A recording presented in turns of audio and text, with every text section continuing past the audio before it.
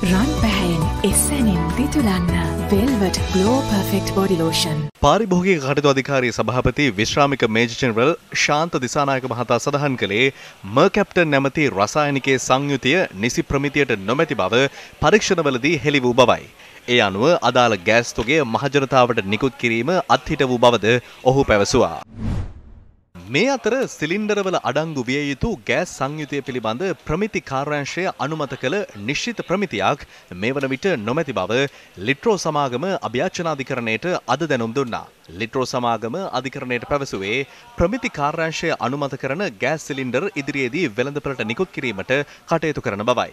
තම සමාගම මේ වන විට වෙළඳපළට නිකුත් කරනුයේ ප්‍රමිති කාර්යාංශය අනුමත කළ ප්‍රමිතීන්ට අනුකූල ගෑස් සිලින්ඩර් පමණක් බවද ලිට්‍රෝ සමාගම අධිකරණය හමුවේ කියා සිටියා. සමාගම දැනුම් දුන්නේ වෙළඳපොලේ ඇති ගෑස් සිලින්ඩර නැවත කැඳවීමේදී සහ නිශ්චිත ප්‍රමිතියෙන් යුත් අලුත් සිලින්ඩර් වෙළඳපොලට බෙදා හැරීම අතර කාලය තුලදී යම් ගෑස් හිඟයක් ඇතිවීම වැළැක්විය නොහැකි බවයි.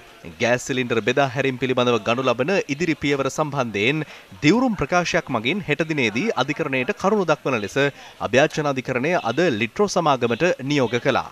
අධිකරණය එම නියෝගය කළේ අනාරක්ෂිත ගෘහස්ත ගෑස් සිලින්ඩර් ආනයනය කර බෙදා හැරීමට කටයුතු කළ ගෑස් සමාගම් සහ වගකිව යුතු පුද්ගලයින්ට එරෙහිව අපරාධ නීති යටතේ නීතිමය පියවර ගන්නා ලෙස නියෝග කරන්නේ ඉල්ලා නාගානන්ද කොඩිතෝක්කු මහතා ගොනු කළ රීට් පෙත්සම අද කැඳ වූ අවස්ථාවේදී